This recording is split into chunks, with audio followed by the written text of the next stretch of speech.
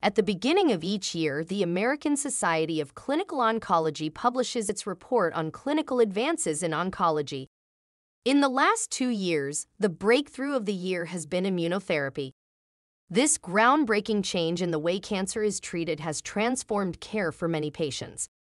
The latest breakthrough is a new type of immunotherapy known as chimeric antigen receptor or CAR T cell therapy. When the immune system is working normally, immune cells circulate throughout the body looking for things that should not be present in the body. These immune cells seek out invaders by using receptors, which can be thought of as antennas or sensors. When the receptors find invaders in the body, special immune cells spring into action to destroy them. These special cells are called cytotoxic T cells. Unfortunately, cancer cells often have the ability to hide from being found by immune cells, which is why cancer cells can grow uncontrollably.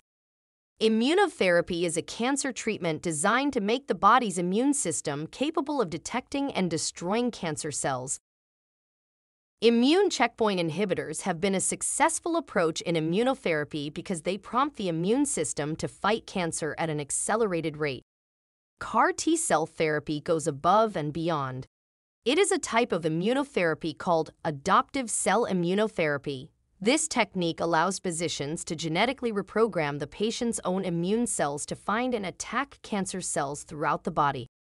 In CAR T cell therapy, a person's T cells are removed and taken to a laboratory. Genetic changes are made in T cells so that they attack cancer cells. These CAR T cells are grown in large numbers and then reinfused into the patient. One of the notable features of this treatment is that it is a living therapy. CAR T cells continue to multiply in the body, and their effectiveness may even increase over time. Chimeric antigen receptor, or CAR T cell treatment, changes the immune system to be more effective at finding and destroying cancer cells. The immune system is very complex and involves many different types of cells and systems throughout the body. One of these cells is called a lymphocyte, which is a type of white blood cell that works to fight infection. There are several types of lymphocytes, one of which is called a T lymphocyte. CAR T cell treatment works by causing the T cells to focus on a substance called an antigen that is found on the surface of cancer cells.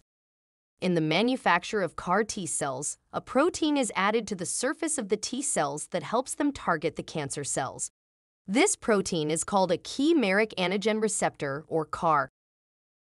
When a CAR T cell comes into contact with an antigen from a cancer cell, it becomes activated.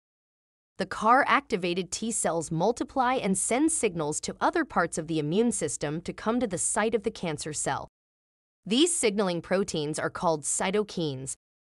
All of these cytokines and activated T cells then cause significant inflammation focused on the cancer cell, leading to cancer cell death. If all the cancer cells die, the cancer may go into remission, which means the cancer is temporarily or permanently gone. At the Immunotherapy Institute in Tijuana, Mexico, we are proud to announce that we are the first and only center to have CAR T cell therapy available.